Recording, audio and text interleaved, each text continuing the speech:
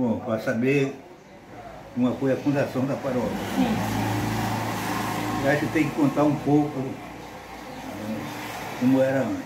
Sim. Então Trezizera era um bairro, considerado um bairro né, de pedreira. E foi crescendo, ficando muito populoso. E o vigário em pedreira da igreja de São Benedito era Monsenhor Gerson Nunes Freire. E tinha, um, tinha uma pessoa aqui um, na Trezizera que era muito católico, aliás, muitos né, que frequentavam a paróquia de São Benedito. E o Monsenhor achou depois de criar um, um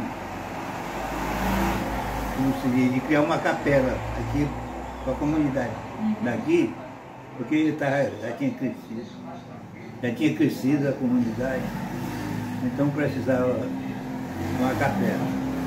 Aí criaram a capela Nossa Senhora de Fátima, a igreja Nossa Senhora de Fátima, que era Zezinho do Padre, que era o o responsável por essa. Esse que era o Zezinho do Padre. Ah. Zezinho do Padre era que era o responsável pelas coisas. Da... Era, vamos dizer que ele era o dirigente da presidência. Aí foi indo, passando os tempos, cresceu mais. Aí resolveram criar uma paróquia. Aí passou a ser paróquia. Aí foi copiada aos frades franciscanos. Né? E aí, o- como primeiro vigário foi, foi Frei Raimundo. E esse chegou aqui e viu uma visão, um franciscano, que precisava criar muitas, muitas, muitas assim, é muitos trabalhos, né? Porque eu trabalhava pouco, as enchentes Uhum. atrapalhavam muito, né? Quando era ali no Lago do Quando Meu era Bem. no Lago do Meu Bem, que ali era que a igreja Nossa Senhora de Paz. Hoje ela está na Rua do Campo. Porque depois, depois que o Frei Raimundo saiu, depois de muitos anos, os outros frades venderam, né, ali. Era a igreja de Nossa Senhora de Paz, a paróquia de Santo Antônio de Paz, assim que era, assim que Entendi. era os, as lembranças dos ba- do batismo tinha, né? Já era paróquia. Era a paróquia, mas com a igreja de Nossa Senhora de Paz. Entendi. Então não tinha igreja de Santo Antônio. Não tem igreja de Santo Antônio. Entendi. Depois, com as enchentes, com os problemas, o Raimundo tinha uma visão assim como para trabalho. né? Ele foi montando aos poucos, lá em, ao redor da capela. Cinema, né? E criou o clube de jovens, time, tem uma foto bem aí de um time, que foi da, que era da juventude Da época dele. na época dele.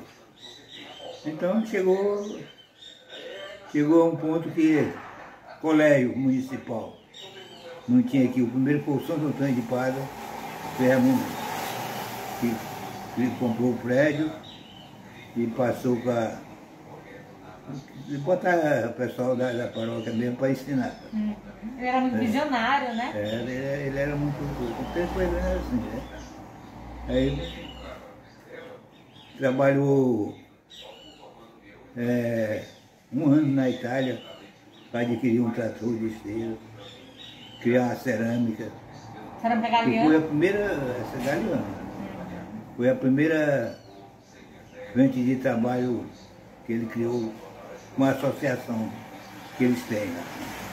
Isso aí eu não sei mais como é. Então eu participei de tudo, dessa parte todinha nesse tempo. né? Entendi. Mas, é.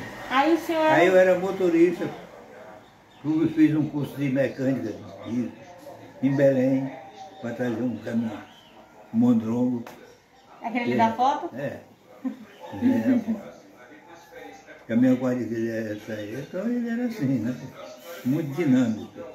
Sim, aí com aí, o problema de enchente, Uhum. toda vez que o rio, que era Semana Santa praticamente, o rio estava cheio. Não celebrava. Ele conseguiu com o prefeito na época, que era o doutor Josélio, esse terreno que tem atual Da igreja. território da igreja. Aí passou a ser a igreja de São Antônio de Paz.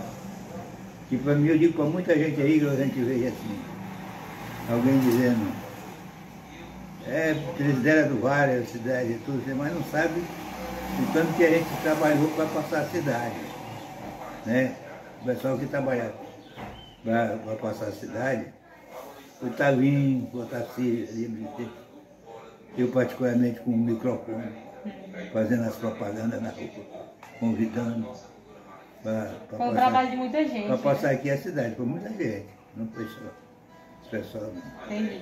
Na paróquia. Aí a primeira, a primeira, primeira estrutura para uma cidade não é a paróquia. A igreja dessa aí, não é todo lugar que tem não, né? É verdade. E eu estava sempre de lado. Quando construíam as ruas, o mundo tinha uma, uma visão com a juventude, com o povo. Era mutirão, botava, tinha uma coisa na paróquia que precisasse fazer, tipo, era mutirão. Por exemplo, carregar material, ajudar um pedreiro. Às vezes ele arrumava o pedreiro e eu arranjava uma pessoa da paróquia para dar um dia de serviço de ajudante para o pedreiro para serviço de instalação na paróquia, elétrica. Tudo foi feito através de, de ajuda do pessoal participando. Né? E aí, é, para contar mesmo assim, bem. É, não é muito fácil não. E aí eu uma, criei uma amizade com ele, eu pessoalmente. Lembrei que lá eu, posso, eu aproveitei nos últimos tempos. Eu que trabalhava no cinema, fazia propaganda do filme, na rua. Fazia tudo. Gritava o leilão na época da festa, ajudava a montar as coisas que. Depois quando passou a ser a festa festejada com comida, Aí diminuiu mais. O pessoal já estava, já era outros frades, né? Aí quando houve, houve um, uma transferência deles aí, o Raimundo parece que tinha 18 anos de paróquia. Aí não podia, aí tiraram ele e ele foi para o Garapé Grande. Aí depois ele, felizmente, faleceu, né? Mas foi um homem que acho que merecia mais lembrança. Aliás, para os processantes ele talvez não queiram, mas como pessoa, eu acho que ele merecia. E mais lembrança aqui, né? A nossa ideia com esse trabalho é isso, entendeu? É porque muita gente, pelo menos na cidade, a gente não sabe dessas histórias. A gente não sabe como foi fundado, onde é que veio e tudo mais. Então a nossa intenção com esse trabalho é isso, reaviver a fundação, a fundação tem, tem. A paróquia tem. Tem fotos. Tem fotos, né? E tem, tem a, a e tem a cópia da a ata da fundação. Sim. Mas ele tem. Mas aquela questão, as fotos não falam, né? A gente precisava desses relatos vivos, das pessoas que viveram Ah, nesse período, entendeu? É, pois é, que era- antigamente era assim. A questão que se fosse avisado aí, ia procurar uma lembrança, mas agora assim não dá para. Não, mas tá ótimo. É.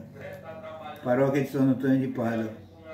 No- na lembrança quem tem, tá lá, Igreja de Nossa Senhora de Paz, Paróquia de São Antônio. Ó, entendi. Pois tá ok, muito obrigada.